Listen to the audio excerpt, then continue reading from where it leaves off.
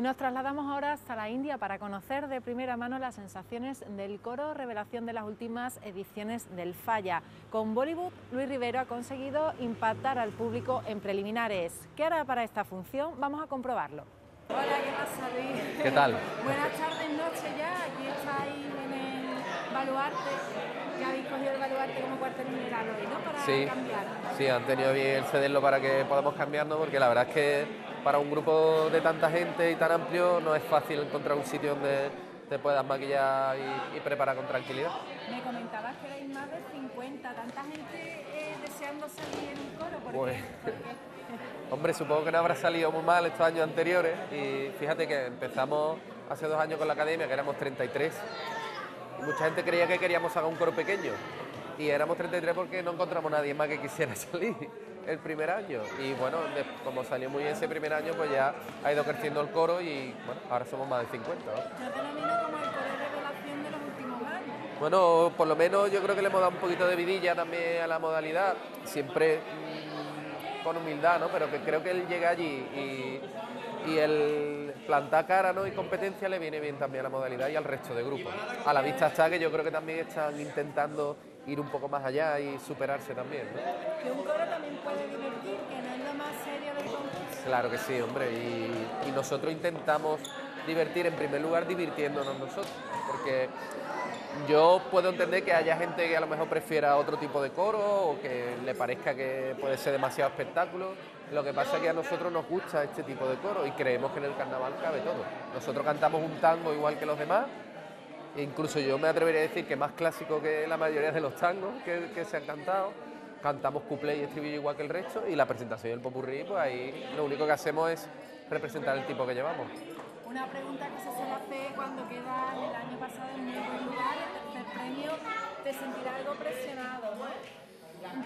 Bueno, es más de cara a la gente que de cara al propio grupo, ¿no? Porque nosotros estamos muy satisfechos con el coro que hemos hecho este año. Creemos que este coro supera con crece al triángulo. Lo que pasa es que el concurso es otro concurso distinto y evidentemente no competimos con los mismos coros que el año pasado.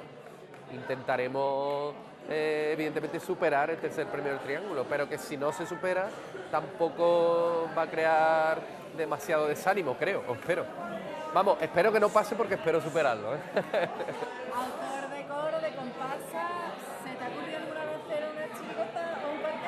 No, no, no se me va a ocurrir. He tenido colaboraciones con chirigotas en el aspecto musical, sobre todo, porque, pero creo que el tema del sentido del humor a la hora de escribir es una de mis asignaturas pendientes. Aunque en el coro no termina de, salirme mal del todo, pero como para una chirigota y desde luego como para un cuarteto no. Seguro que no.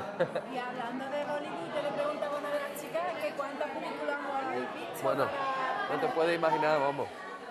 Sí, porque habría, había que coger un poco la impronta de lo que es Bollywood, ¿no? De qué representa. Mm, eh, eh, cualquier película de Bollywood, en general su argumento es bastante tonto o inocente, ¿no? Sí, la música, claro, siempre hay una historia de amor en el centro de todo y en, torno a eso pues hay muchos malentendidos, muchas y siempre en torno al, al espectáculo, a la espectacularidad, ¿no? Del color, de la luz, del baile, que es lo que más llama la atención y es lo que hemos querido representar sobre todo.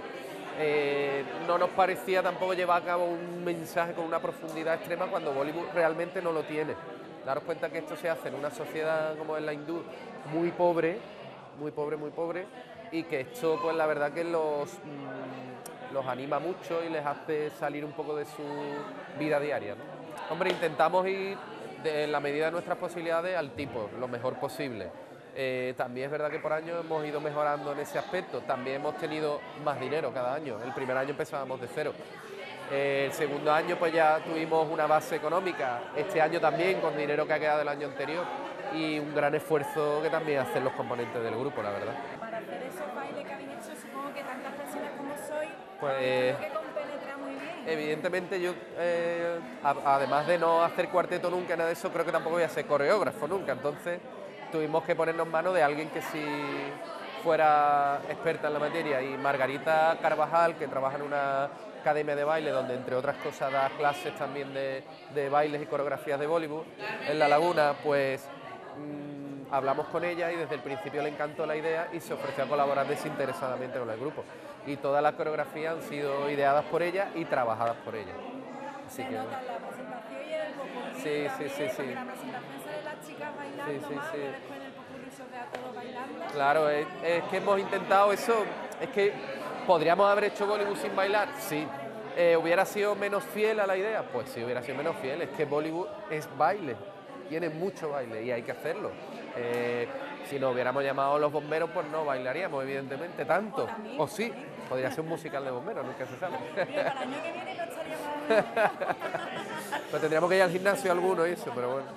pero bueno, pues ya supongo ya estamos en un cuarto de final, ya las agrupaciones tienen que enseñar más esas señas de identidad, porque claro, nos vamos acercando ya y al final del concurso y supongo que algo tendré guardado para hoy maravilloso. Hombre, yo, yo creo que sí, que llevamos dos tangos bastante buenos, de un corte distinto cada uno, uno más, quizá un poquito más sensible, pero mm, tampoco tontorrón, sino una cosa muy, muy real que pasa en el día a día, y otro bastante cañero, ¿no? como se suele decir, que además creo que, tal y como está la sociedad hay que dar un poquito de caña también, porque es que no sería, no sería normal o no seríamos justos con lo que está pasando ¿no? en el día a día. Y en los cuplés vamos a llevar algo muy fresco, muy fresco, muy fresco, vamos, que todavía lo tenemos que repasar un poquito, pero bueno, a ver qué tal sale. Yo, si te digo la verdad, a las nueve y media estaba a peinarme porque tenía que ir a trabajar, que trabajaba así peinada. Sí, porque tenía que salir, o sea, salía a las cinco y media, o sea que o me peinaba antes o iba sin peinar. ¿Y qué te han dicho? ¿Qué te han dicho? Nada, en el trabajo, pero bueno, bien, casi todo el mundo que entra, como me conoce ya, ay, ya está peinada, ya está perforada, está nerviosa, lo típico. Pero vamos bien. Pero el coro ha quedado a las 4 de la tarde. La gran mayoría de las mujeres ya estaban peinadas y casi todas con la base puesta, entonces todo es mucho más llevadero. Sí, sí, el maquillaje lo hacemos entre dos compis que estamos aquí, que es Arancha y yo, pero hay muchísima gente que colabora.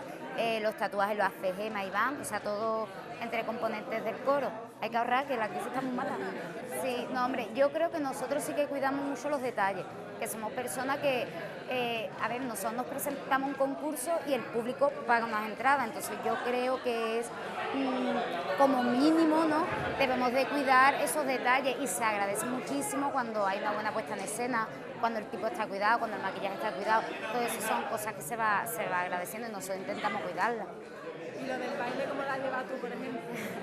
Yo la verdad que bastante bien, porque a mí me encanta. El baile muy bien, ha sido un esfuerzo muy por encima de lo normal, pero yo creo que ha salido bastante bien, que el resultado es muy bueno y oh, para gusto los colores, habrá gente que le guste más o menos, pero yo creo que es de reconocer ¿no? que, que el coro está súper trabajado y que tiene muchísimo esfuerzo cantar y bailar a la vez es complicado y se hace y creo que se hace bastante bien porque en ningún momento el coro desafina ni ha dejado al lado las voces, sino que en todo momento se ha cuidado muchísimo el repertorio y la afinación y se llevar a cabo el baile.